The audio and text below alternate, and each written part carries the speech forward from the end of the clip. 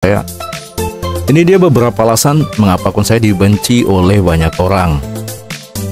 Oke, jadi saya pernah bergabung dalam sebuah ad group yang paling kuat di server ini dan saya dikeluarkan dengan alasan yang gak masuk akal lah ya menurut saya. Ya katanya donasi saya itu kurang, padahal saya mendonasikan segala sesuatu itu berdasarkan limit ya. Jadi kalau udah lepas limit itu nggak bisa ngapa-ngapain lagi teman-teman.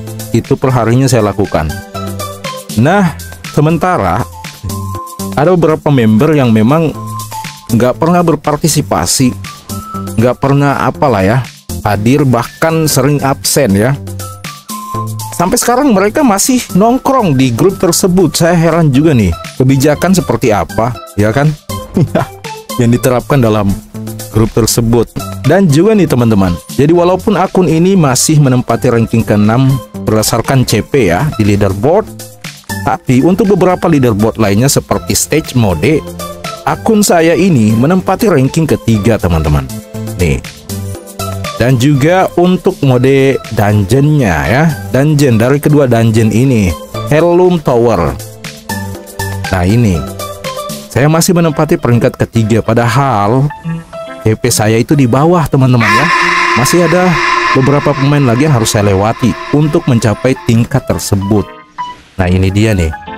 Nih seharusnya seharusnya uh, untuk melewati uh, stake ini dibutuhkan 2 juta power teman-teman. Tapi saya belum cukup nih power saya. Cuman udah melewati stake ini.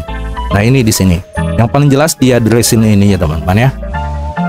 Ini 2 juta 100, ini 2 juta 187 tapi saya lewati itu dengan mudah. Sebentar lagi saya akan mencapai tingkat nih. Tingkat berikutnya, oke? Okay? Tentu saja bikin iri lagi nih teman-teman. Oke, segitu aja untuk konten short saya. Jangan lupa di like dan subscribe channelnya ya.